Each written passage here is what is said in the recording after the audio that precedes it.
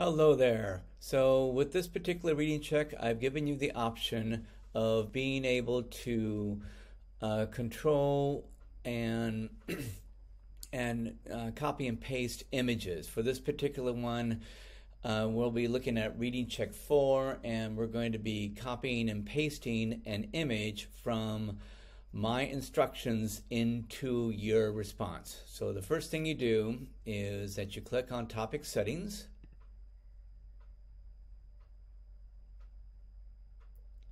It'll take a little while. There we go. Here's topic settings. Now you have access to this for this particular uh, reading check. You don't have access in the other reading checks, at least not yet.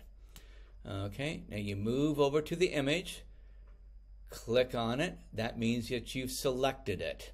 And I generally use, um, um, on my Apple, it's, um, it's Command C on another computer, it might be something else, but something that enables you to uh, copy it.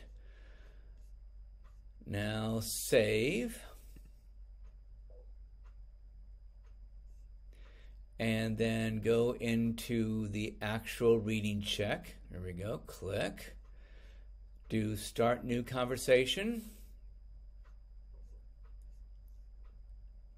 Click on your response portion and then for paste, I on an Apple I would use Command V. Boom, there we go. Here is the image. Now you can also copy and paste anything you want here as well. I suppose I'm not sure if you can. I know you can copy uh, words, um, but I'm not sure if you can copy images. So that is how you can copy an image. Let me get rid of it and we're done. Thanks for listening, and I'll post this. I'll post this with the reading check so that you have access to it.